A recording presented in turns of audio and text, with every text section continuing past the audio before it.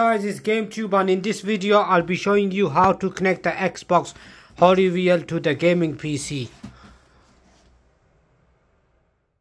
Once you've removed the wheel out of the box there will be a few things.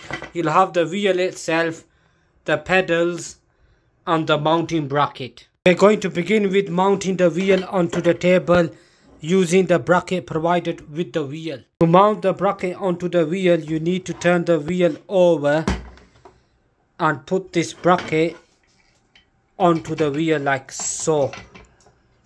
Then you need to get this screw kind of thingy place it into this hole and tighten it just a little so that you can attach it to the table. Once you have placed the wheel onto the table you need to tighten it down to make sure the wheel is secure onto the table. Once you have done that you could turn this thingy over like so. And now the wheel is firmly connected. Once you have placed the wheel onto the table you can move over to the pedals. With the pedals there are two parts that come with it. You can connect this to that like so.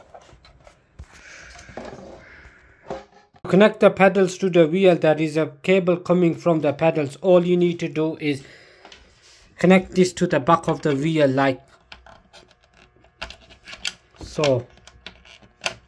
Once everything is set up the next step is to connect the USB cable to the PC once you have done that we need to head over to the computer to download the software.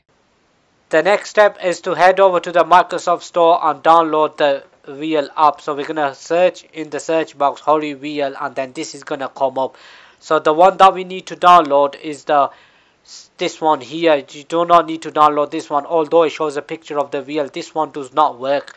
So it's this one with the controller so you click on that and click once you've installed it open button's going to show up open it up and then here's your wheel connected. Now in this app you could do all sorts so you could do your wheel settings you could do your dead zones you could do your pedal mapping and all that kind of boggle. Once you have done that you could head over to the games and start playing Mm-hmm.